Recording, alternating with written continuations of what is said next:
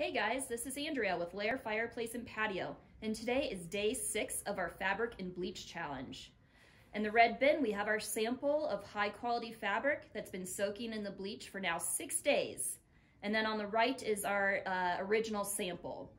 As you can see, the color is still in the one that's been soaking in bleach. It's incredible. So check back with us tomorrow for day seven.